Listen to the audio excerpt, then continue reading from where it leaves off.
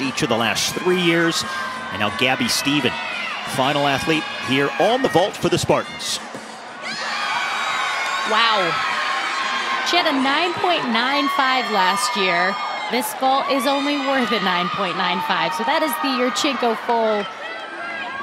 Gabi just does it so well. The height, the distance, the landing. I mean, she's like a dart.